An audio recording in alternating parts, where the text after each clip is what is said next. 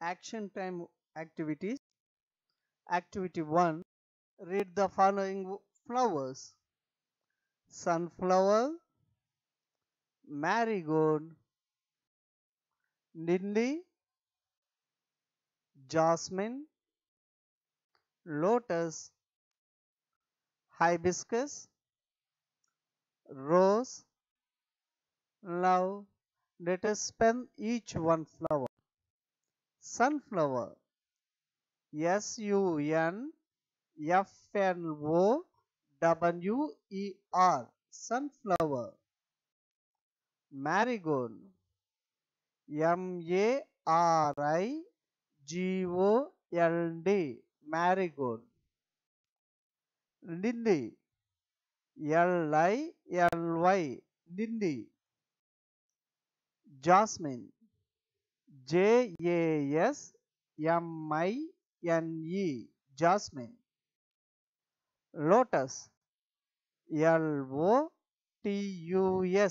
lotus hibiscus H-I-B-I-S-C-U-S hibiscus rose R-O-S-E rose Next activity 2.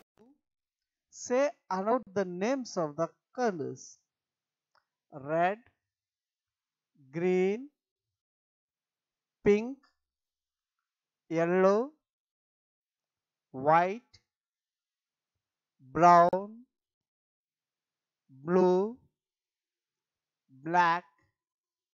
Now we say the span of each color red.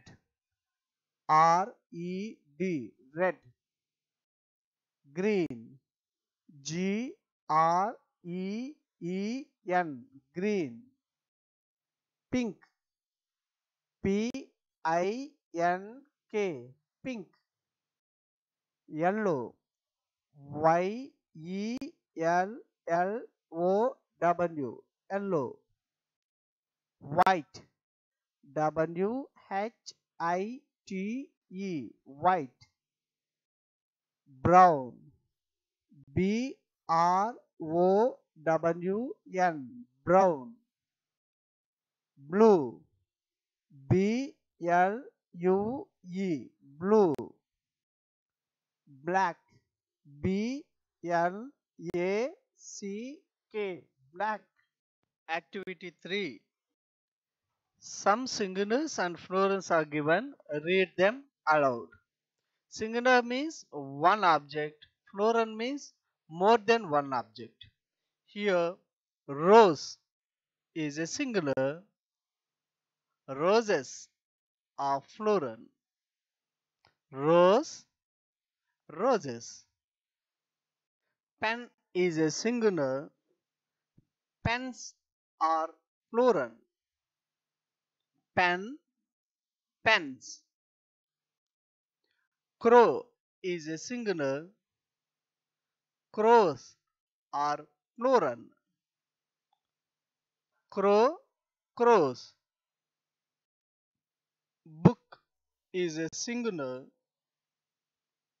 Books are plural. Book, books.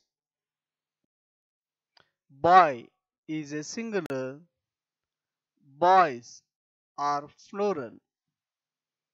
Boy, boys. Now you read one more time aloud. Rose, roses. Pen, pens. Crow, crows. Book, books. Boy, boys. Here you observe all plurals are added yes the name after. Some we times we add yes also we learnt later.